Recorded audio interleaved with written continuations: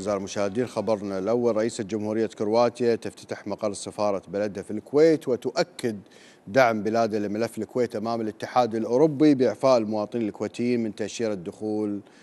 دول الاتحاد الشنغن شوفوا التقرير.